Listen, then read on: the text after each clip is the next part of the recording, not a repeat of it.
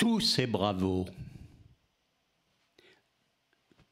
Il y a plein de bravos dans ma tête qui crépitent pensivement, me rappelant des jours de fête, des kermesses, où allègrement, devant spectateurs, spectatrices, se déroulait mon tour de chant, que présentait l'animatrice ou l'animateur en souriant.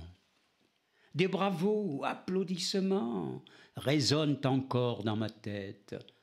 Je les réentends par moments en fredonnant des chansonnettes que je chantais jeune chanteur dans les cabarets musicoles de France, Belgique, Corse et d'ailleurs entre deux matchs de football.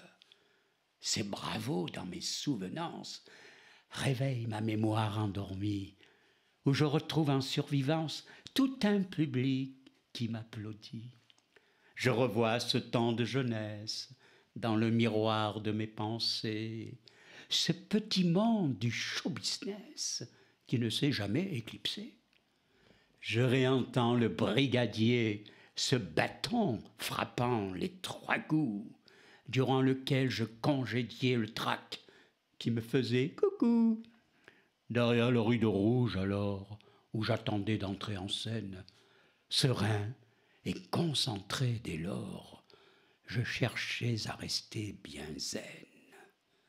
Avec tous ces bravos en tête, qui m'offrent tant de souvenirs, en s'obstinant chacun sans tête à me faire alors rajeunir, me rappelant ainsi sans cesse cette vie où j'étais chanteur, et dont ma lointaine jeunesse était remplie de rêves enchanteurs.